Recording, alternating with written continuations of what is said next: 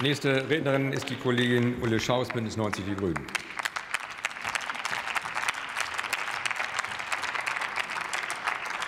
Sehr geehrter Herr Präsident, liebe Kolleginnen und Kollegen! Heute Abend geht bei den Vereinten Nationen die Frauenrechtskommission zu Ende, bei der wir mit Kolleginnen aus den demokratischen Fraktionen, mit Ministerin Lisa Paus, dem BMFSFJ und vielen NGOs als eine der größten Delegationen in New York vertreten waren.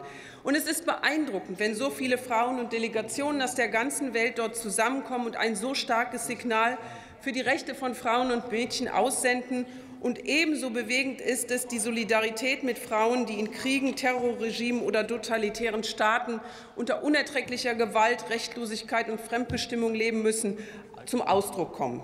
Das eint uns alle. Und auch darum war die feministische Außenpolitik, bei der Deutschland als Motor wahrgenommen wird, ein zentrales Thema. Viele Regierungen begrüßen die neuen Leitlinien und bilden jetzt weitere Bündnisse. Liebe Kolleginnen und Kollegen, eines ist unmissverständlich. Die Vereinten Nationen stehen für umfassende Frauenrechte und die Rechte von marginalisierten Gruppen. Angesichts der derzeitigen weltpolitischen Lage, in der autoritäre Regime rechte und evangelikale Strömungen immer stärker demokratische Strukturen angreifen, sind Frauenrechte überall in Gefahr. Einem gesellschaftlichen Rollback in unserem Land, wie ihn die Fraktion hier ganz rechts will, erteilen wir gemeinsam eine klare Absage. Wir wollen die Selbstbestimmung von Frauen in allen Lebensbereichen stärken. Dazu gehört, über den eigenen Körper, die eigene Reproduktion selbst zu entscheiden. Aber nach wie vor werden Frauen bei einer ungewollten Schwangerschaft durch § 218 StGB kriminalisiert.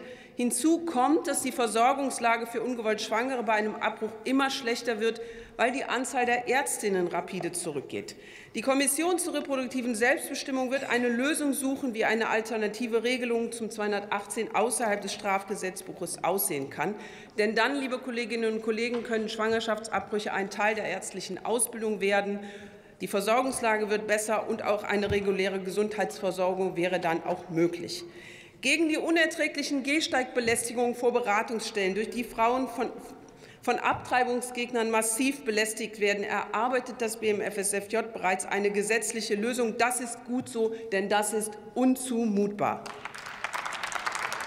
Liebe Kolleginnen und Kollegen, wir haben uns völkerrechtlich verpflichtet, Gewaltschutz und die Istanbul-Konvention umzusetzen, denn alle gewaltbetroffenen Frauen und ihre Kinder haben ein Recht auf Schutz ausreichende Frauenhausplätze und ein bundeseinheitlicher Rechtsrahmen, das soll endlich erreicht werden. Die Vorbehalte gegen die Istanbul-Konvention sind bereits zurückgenommen. Gewaltschutz darf nicht vom Aufenthaltsstatus abhängen.